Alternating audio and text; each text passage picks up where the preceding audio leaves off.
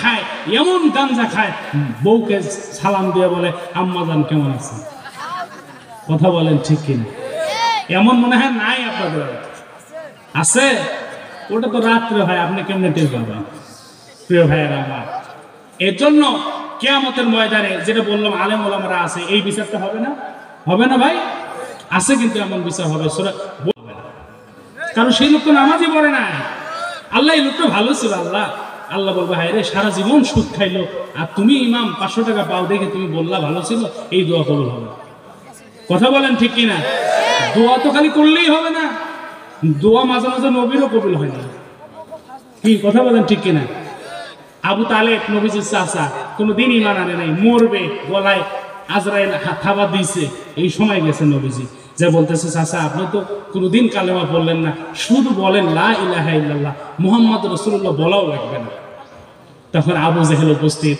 আবু তালেব, তুমি বলিও না, তাহলে মানুষ সারা জীবন তোমার নামে দুর্নাম বলবে যে মৃত্যুর সময় নিজের বাপ দাদা ধর্ম বাদ দিয়ে গেছে। সে আর ভাগ্য নসিব হলো না কালেমা। নবীজি কষ্টে, দুঃখে, ভালোবাসার চাষা ছিল তো দোয়া করছে আল্লাহ, আমার চাষাকে তুমি মাফ করে দাও। আল্লাহ তালা ফেরেস্তা পাঠিয়ে দিয়ে বলে, নবীজি, আপনি হাত নামান কারণ আপনি কোনো মুনাফেক বেইমানের জন্য দোয়া করতে পারেন না। নওজুবিল্লাহ বলেন প্রিয় ভাইয়েরা আমার, এর জন্য যারা রহমানের বান্দা বান্দি হবে, তারা নবীদের দলের লোক হবে, তারা কেয়ামতের ভয়ে, জাহান্নামের ভয়ে, আল্লাহর ভয়ে তাহাজ্জুদে নামাজ পরে পরে কাঁদবে। ও কুড়িগ্রামের মুসলমান এর জন্য আল্লাহর প্রিয় বান্দা বান্দি হওয়ার দরকার আছে না নাই এরপর আল্লাহ পাক রব্বুল আলামিন বলেন والذين لا يدعون مع الله إلها آخر ولا يقتلون النفس التي حرم الله إلا بالحق ولا يزنون আল্লাহ পাক রব্বুল আলামিন বলেন রহমানের বান্দা বান্দি যারা হবে তাদের পাঁচ নাম্বার গুণ হলো আল্লাহ পাক রব্বুল আলামিন বলেন যারা আল্লাহর সাথে অন্য উপাস্যের ইবাদত করে না যারা শিরিক করে না তারা হলো আল্লাহর রহমানের বান্দা জোরে বলেন ঠিক কিনা এর জন্য আমরা আল্লাহর সাথে শিরিক করব। শিরিকটা হলো আল্লাহর সঙ্গে আল্লাহর ক্ষমতা, আল্লাহর সিফত, আল্লাহর গুণ, আল্লাহর শক্তির সাথে অন্য কোন শক্তি মিলানোর নামই হলো শিরক। কথা বলেন ঠিক কিনা? এর জন্য যার জীবনে শিরিক নাই, সে জান্নাতে যাবে, কথা বলেন ঠিক কিনা? আর যারা আল্লাহর সাথে শিরিক করবে, আল্লাহ পাক রব্বুল আলামিন তাদেরকে জাহান্নামে দিবে। আর আল্লাহ তাআলা বলেন, যারা শিরিক করে না তারা আমার প্রিয় বান্দা, জোরে বলেন সুবহানাল্লাহ। আল্লাহ পাক রব্বুল আলামিন বলেন, আমার যারা রহমানের বান্দা, তাদের সাত নাম্বার, ছয় নাম্বার গুণ হলো যারা অন্যায়ভাবে মানুষকে হত্যা করে না, যারা মানুষকে হত্যা করে না, যারা মানুষকে অনেক মানুষ আছে, দেখবেন পেপার পত্রিকা খুললে খুনাখুনি আছে না নাই? খুনাখুনি আছে, মারামারি আছে দা দিয়ে বটি দিয়ে মানুষদেরকে নৃশংসভাবে মেরে ফেলা হয়। এই সমস্ত হত্যাকারীদেরকে আল্লাহ তাআলা পছন্দ? শুধু পছন্দ নয়, তারা জাহান নামে চিরকাল বসবাস করবে। নাউজুবিল্লাহ। প্রিয় ভাইয়েরা আমার, এর জন্য রহমানের বান্দা বান্দি যারা হবে, তারা কখনো মানুষকে হত্যা করবে না। প্রিয় ভাইয়েরা আমার, আট সাত নম্বরে আল্লাহ পাক রব্বুল আলামিন বলেন, ওয়ালা ইয়াজনুন যারা ব্যবিচার করে না, যারা জেনা করে না, যারা জেনার লিপ্ত হয় না, জেনায় লিপ্ত হয় না, এই সমস্ত ব্যক্তিদেরকে আল্লাহ পাক রব্বুল আলামিন ভালোবাসে। আরও জোরে বলেন সুবহান আল্লাহ এই জেনা আমাদের সমাজে আছে না নেই? কথা বলেন। আছে? আছে? আছে? আহা, জেনা আজকে এমন একটা রূপ ধারণ করছে ভাইরাসের মতো। জেনা ব্যবিচার পরকিয়া, আছে না নাই? এগুলোর জন্য আজকে আমাদের রিজিক আল্লাহ তালা উঠায় নিচ্ছে। এই পাপের কারণে বিপর্যয় নেমে আসতেছে, অভাব অনটন নেমে আসতেছে, সবকিছু দেখা যায়, কিন্তু ছোঁয়া যায় না। কথা বলেন ঠিক কিনা? এই বিপদ, এই বিপর্যয় সমস্ত কিছু বান্দার দুই হাতের ইনকাম বান্দার দুই হাতের ইনকাম আজকে সব জায়গায় আমাদের সমস্যা ঢুকে গেছে।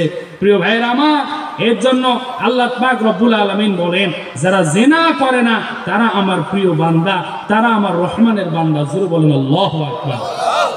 আমি বলি, রাসূল সাল্লাম হাদিস শরীফের মধ্যে বলেন, যারা গোপনে জেনা করে, তাদেরকে দুনিয়াতেই আল্লাহ তাআলা তিনটা শাস্তি জোরে, তিনটা শাস্তি দিবেন। জোরে বলেন কয়টা?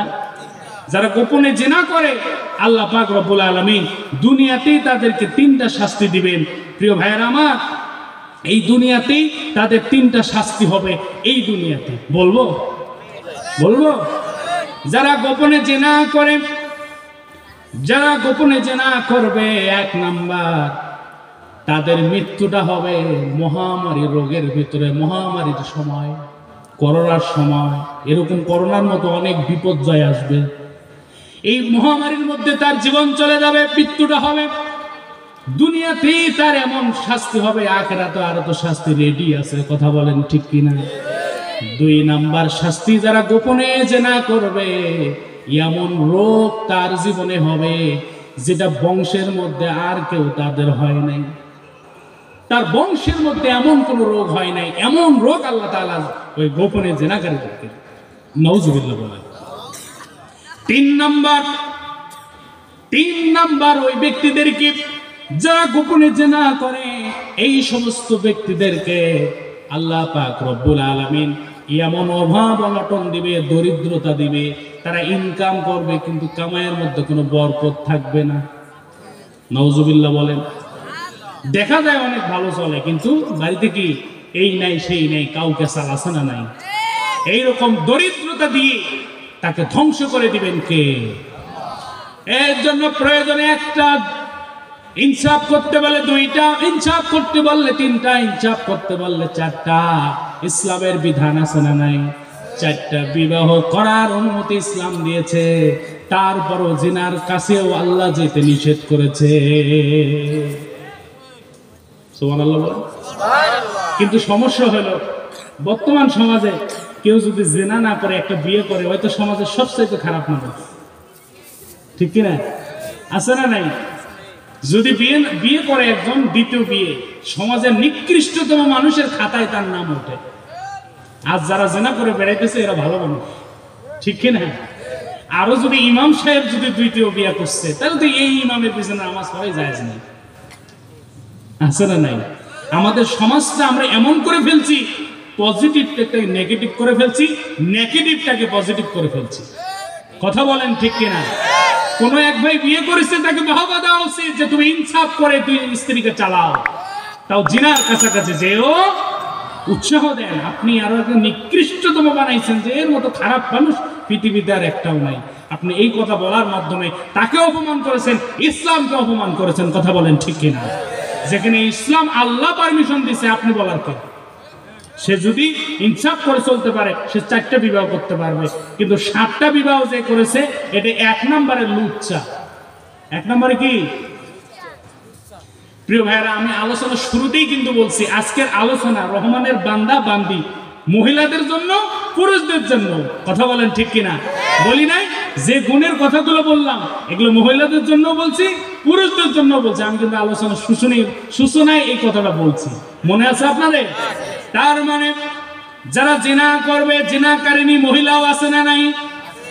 জিনাকারী ব্যক্তিদেরকে আল্লাহ তাআলা পছন্দ করেন না। আর যারা জেনা করবে, এই জেনা জেনা থেকে যারা বেঁচে থাকবে, আল্লাহ পাক রব্বুল বলেন, তারাই আমার রহমানের প্রিয় বান্দা, বান্দি, জুরবান, আল্লাহু আকবার। জুহান গোত্রের একজন মহিলা বিশ্বনবীদের দরবারে এসে বলল, ইয়া রাসূলুল্লাহ, সাল্লাল্লাহু আলাইহি ওয়াসাল্লাম, আমি তো জিনা করে ফেলেছি, আমি তো গুনাহ করে ফেলেছি। কিন্তু জেনা করার পর আমার এত পরিমাণ এত পরিমাণ আল্লাহর ভয় আসতেছে জাহান নামের ভয় আসতেছে। এই ভয়ে আমার জীবনটা তসনস হয়ে যাচ্ছে আল্লাহ। আল্লাহর কাছে এত পরিমাণ আমি লজ্জিত হয়ে গিয়েছি। ও রসুল্লাহ সাল্লাহ আলাইহি আসাল্লাম আপনার কাছে আমি এসেছি। আপনি আমার বিচার ফয়সলা করেন। এই দুনিয়াতে আমার যা শাস্তি হবে আমি মেনে নিতে রাজি। তাও এই জেনার গোনা নিয়ে আল্লাহর সামনে দাঁড়াতে রাজি না।